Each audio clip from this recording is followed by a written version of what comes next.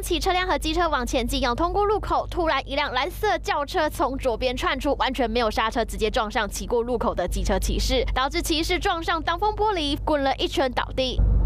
车祸发生的地点在云林斗六市西平路路口，肇事的蓝色轿车正性驾驶疑似没有注意红灯号志，闯红灯才会撞上机车骑士。而机车骑士当场倒地，有戴安全帽，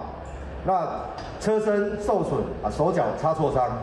四脚客车车头保险杆脱落啊，引擎盖钣金受损，驾驶啊脚挫伤，均无大碍。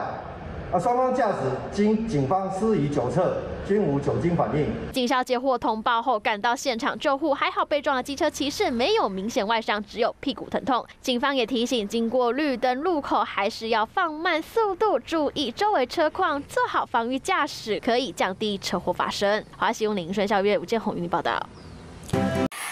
我是庄宇杰，想要看到更多的新闻内容吗？赶快订阅华视新闻的 YouTube 频道，并且开启小铃铛，跟着宇杰一起看新闻吧。